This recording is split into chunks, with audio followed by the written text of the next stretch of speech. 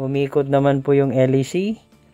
Pero dito sa ating wattmeter, meron tayong na sukat na 106.7 watts.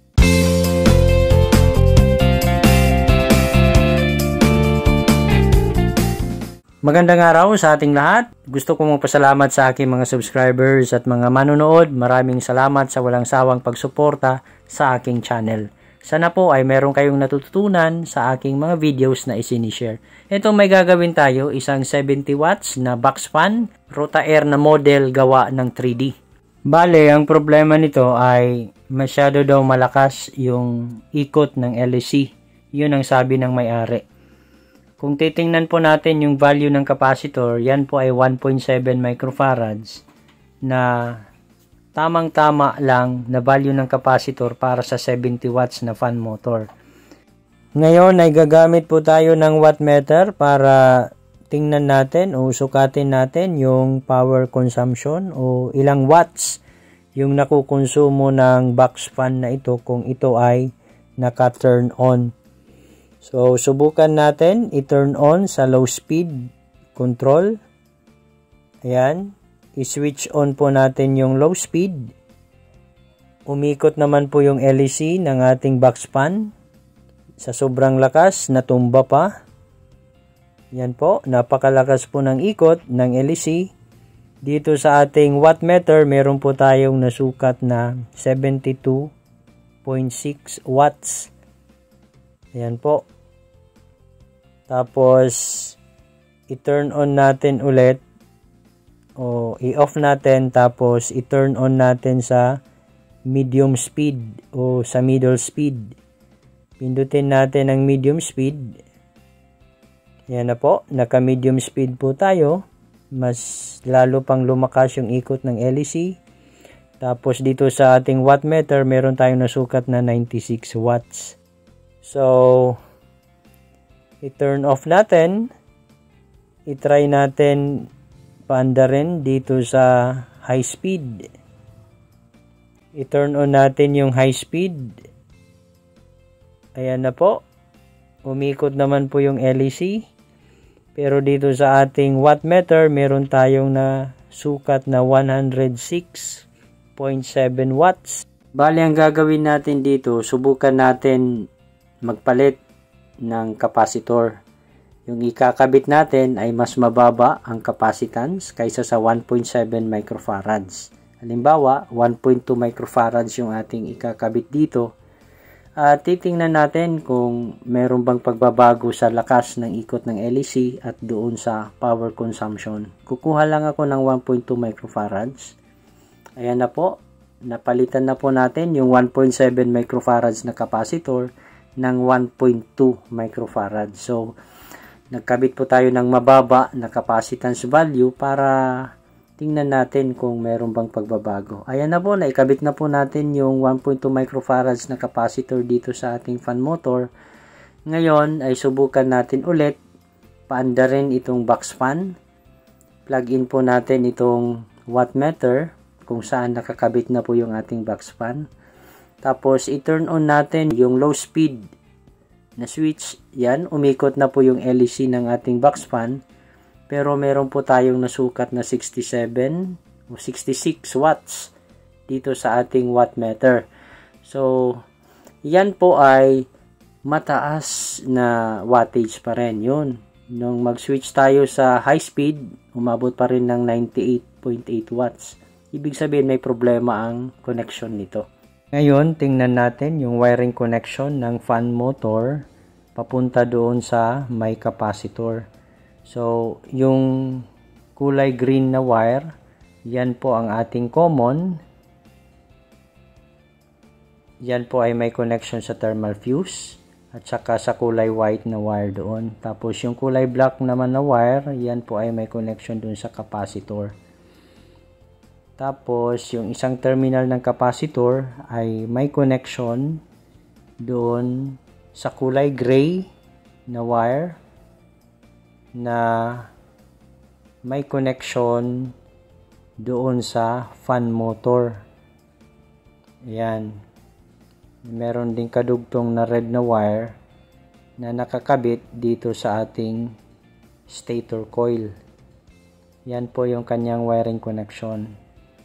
Tapos, kung mapapansin po natin, kung babalik po tayo dito sa connection, yung isang terminal ng capacitor, meron po siyang connection na kulay white na wire na nakakabit sa plug. Nandito po yung problema. So, ang gagawin natin dito ay i-rewiring po natin ito.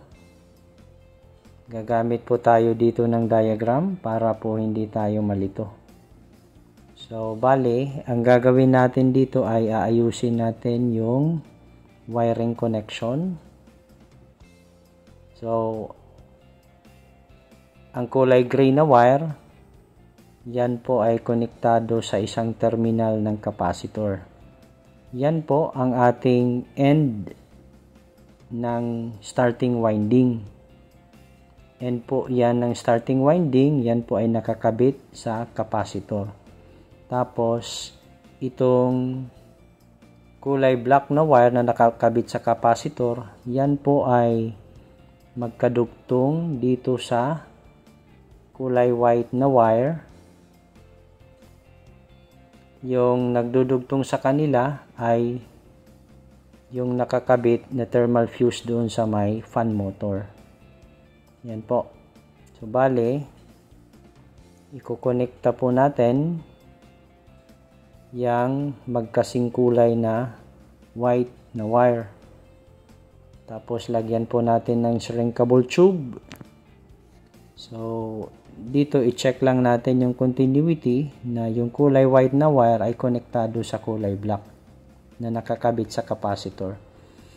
So subukan natin paandarin itong fan motor gamit ang ating binago na wiring connection. Kakabitan ko lang ito ng screw para hindi po ito aalog-alog mamaya pag nagtesting tayo. Ngayon, kabit natin yung LEC. Higpitan lang po natin. Yan. Tapos, itesting natin kung iikot ba o kung sadyang malakas pa ang ikot ng LEC. Okay? So, gagamit pa rin tayo ng wattmeter. I-plug in natin sa power source. Ayan na po. Tapos, turn on po natin yung control switch. Yan, umikot po yung LEC pero yung ikot ng LEC ay nasa clockwise. So, yung ating wattmeter ay merong nasukat na 49.6 watts. So, yan po ay para sa low speed na control. Pero tandaan po natin, yung gamit natin na capacitor ay 1.2 microfarads. Ngayon ay susubukan natin gumamit ng 1.7 microfarads. Ikinabit dati, yun po ay ating ibabalik dito. Yan po, nag-testing na po tayo. Umikot naman po yung LEC. Pansin po natin, meron po tayong nasukat na 52.6 microfarads. Pero, yung ikot ng LEC ay, ay clockwise. So, kung titingnan natin yan,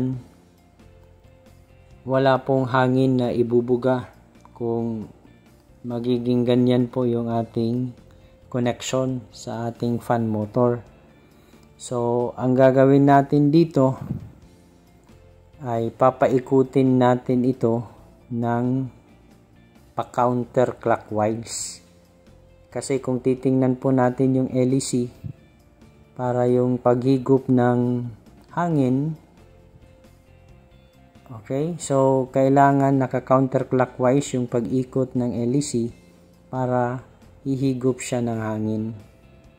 Ito dito, yung nangyayari, naka, naka-clockwise po yung ikot ng LEC. So, meron po tayong gagawin dito sa fan motor. So, tatanggalin muna natin itong fan motor. mula sa kanyang casing. Yan.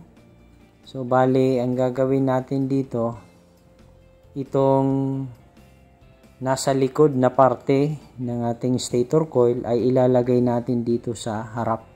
Meaning, ibig sabihin, babalik rin po natin yung paglagay ng ating stator coil. Yung nasa likod ay ilalagay sa harap, yung nasa harap ay mapupunta sa likod. Yan po ang ating gagawin. Okay? So, ayan na po, natanggal na po natin yung cover ng ating stator coil. Actually, na disassemble na po natin yung ating fan motor assembly. So,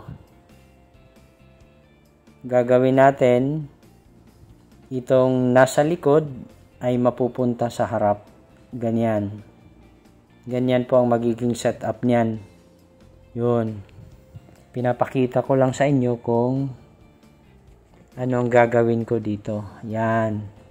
Bale ganyan po yung magiging setup. Ayan na po. Na-set up na po natin yung fan motor.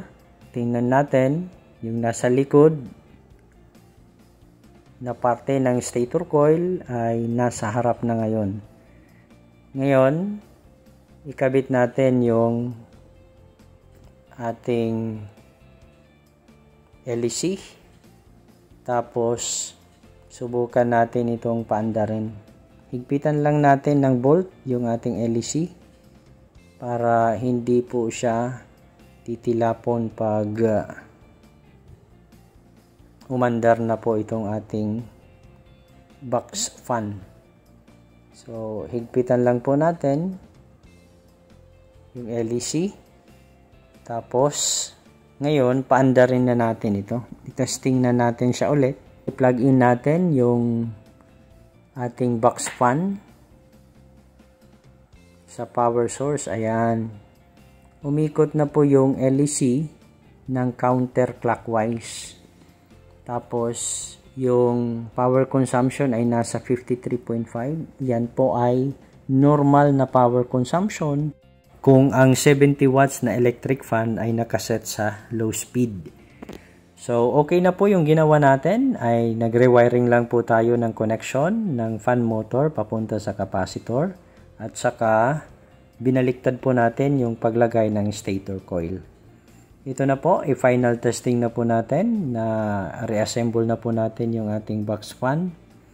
Testing po natin siya ulit. I-plug in po natin yung ating box fan dito sa power source. Gamit pa rin yung wattmeter. Tapos, i-turn on po natin sa low speed. Ayan, umaandar na po yung ating box fan. Yan, umiikot na rin yung grill. Yung power consumption niya ay nasa 56.5. Yan po ay normal na power consumption para sa low speed. Ngayon, i-switch natin sa medium speed. Nag-increase po tayo ng 59 watts mula sa 56 watts kanina. Ngayon, i-turn on po natin yung ating high. Kung ilang wattage ba dapat meron. Yan nasa 65.6 watts. Hindi po tayo nakapagsukat ng 70 watts dahil hindi naman siguro umabot ng 230 volts yung ating supply voltage. So, okay na po ito yung ating ginawa na Rota Air na gawa ng 3D.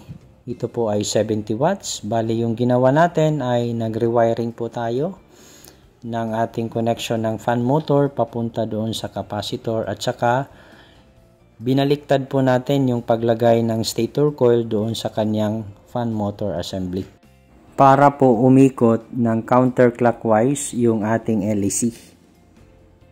Hanggang dito na lang ang aking video tutorial at kung may natutunan naman kayo, maaari po lamang ay mag-subscribe sa aking channel bilang suporta nyo na rin sa akin at para mas ganahan pa akong gumawa ng mga videos na katulad nito. Hanggang sa muli, maraming maraming salamat po.